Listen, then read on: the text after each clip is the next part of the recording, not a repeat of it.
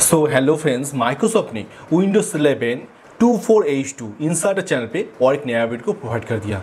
26,252 इसी bill number के साथ। माइक्रोसॉफ्ट ने बहुत सारा कुछ नया फीचर्स छोड़ के कुछ इंपॉर्टेंट फिक्सेस प्रोवाइड किया जो आपको जानना चाहिए। चलो एक एक करके मैं यहाँ पर बोलने का कोशिश करता हूँ।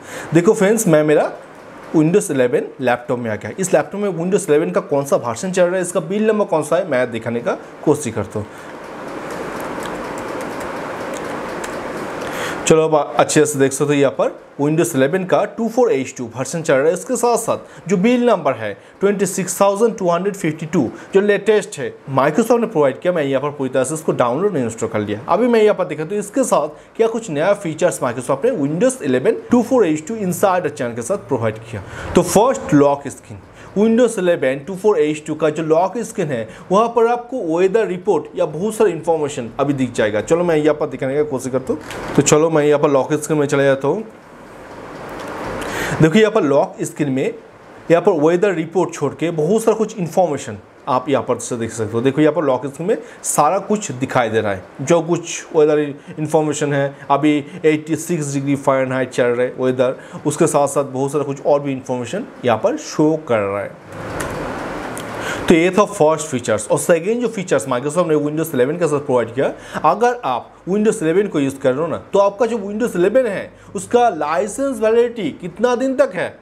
अगर आप इनसाइडर चैनल को यूज़ कर रहे हो तो भी वहाँ पर जो वैलिडिटी है विंडोज़ का, सारा कुछ आप विंडोज़ में देख सकते हो। देखो यहाँ पर मैं देखने का कोशिश करता हूँ। इसके लिए आपको स्टार्ट ऑप्शन में जाना होगा। उसके साथ साथ देखो यहाँ पर सेटिंग सिस्टम में चला गया। और सेटिंग सिस्टम में सिस्टम में जाना होगा। और सिस्टम में जाके आपको थोड़ा सा नीचे देखो यहाँ पर अबाउट सेक्शन में। इस अबाउट सेक्शन में क्लिक करने के बाद यहाँ पर आपको दिख जाएगा, जो विंडोज़ 11 है और एवोल्यूशन एक्सपायरी ऑन ये विंडोज़ जो है, वो एक्सपायर हो जाएगा। 16 सितंबर 2024 ये जो विंडोज़ 11 होम वर्सन है, इसका जो लाइसेंस है, की पूरी तरह से एक्सपायर हो जाएगा। इससे पहले मुझे यहाँ पर अपडेट करना होगा। अगर मैं इस विंडोज़ 11 को अपडेट नहीं करता हूँ ना तो ये जो विंडोज़ 11 है, पूरी तरह से एक्सपायर हो जाएगा। 16 जुलाई 2024 देखो यहाँ पर सारा कुछ दिखाई दे रहा है अभी। और नेक्स्ट जो नया फीचर्स है, चलो मैं देखने का कोशिश करता हूँ। देखो विंडोज़ 11 का जो स्टार्ट मेन्यू है स्टार्ट मेन्यू में आपको बहुत सारा कुछ ऐप्स का आइकॉन मिल जाएगा। ये जो आइकॉन है, ये आइकॉन को आप डायरेक्ट यहाँ से विंडोज़ 11 का जो टास्क बार है, वहाँ पर ड्रैग एंड ड्रॉप कर सकते हो। डायरेक्टली मैं नोट पैड को ऐसे करके लेके ड्रैग एंड ड्रॉप करके टास्क बार में रख देता हूँ। देखो यहाँ पर टास्क बार में आ गया, जो नोट पैड था। कोई भी ऐप्स है, उस ऐप्स को आप स्टार्ट मेनू से डायरेक्ट टास्क में ड्रैग एंड ड्रॉप कर सकते हो। ये जो फीचर्स है इस फीचर्स को माइक्रोसॉफ्ट ने विंडोज़ 11 24H2 के साथ पूरी तरह से ऐड कर दिया। और ये तीन इंपॉर्टेंट नया फीचर छोड़ के कुछ इंपॉर्टेंट फीचर्स प्रोवाइड किया। चलो मैं एक एक करके बोलने की कोशिश करता हूँ। विंडोज़ 11 का जो वॉइस टाइपिंग है, चलो मैं यहाँ पर देखने की कोशिश करता हूँ। विंडोज़ की प्लस एच देखो यहाँ पर वॉइस इस वॉइस से आप टाइप कर सकते हो। माइक्रोसॉफ्ट वर्ड में कोई भी लैंग्वेज आप सेट कर सकते हो। हिंदी इंग्लिश या आपका कोई भी लैंग्वेज तो यहाँ पर बहुत सारा विंडोज़ में ये दिक्कत आ रहा था कि वहाँ पर चाइनीज़ जो लैंग्वेज है, वो डिटेक्ट नहीं कर पा रहा था। अगर चाइनीज़ लैंग्वेज आप बोलते हो तो वहाँ पर राइटिंग नहीं हो रहा था।